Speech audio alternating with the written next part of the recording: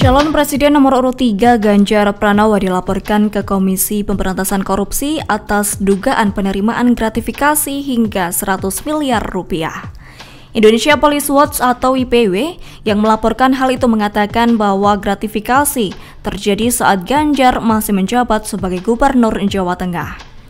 Ketua IPW Sugeng Tegel Santoso menyatakan selain Ganjar, Supriyatno selaku ex-direktur utama Bank Jateng juga dilaporkan atas dugaan penerimaan gratifikasi berupa cashback dari perusahaan asuransi. Menurut Sugeng, perusahaan asuransi itu memberikan pertanggungan jaminan kredit kepada kreditur Bank Jateng yang dipahami sebagai cashback. Adapun nilai cashback tersebut diduga sekira 16% yang dibagikan untuk tiga pihak.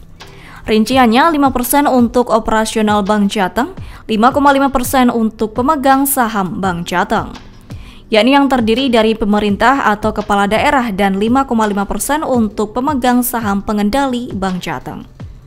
Dalam bukti tanda terima laporan Sugeng disebutkan bahwa laporan itu menyangkut dugaan gratifikasi atau suap atau penyalahgunaan wewenang oleh Supriyatno sebagai Direktur Utama Bank BPD Jateng periode 2014-2023.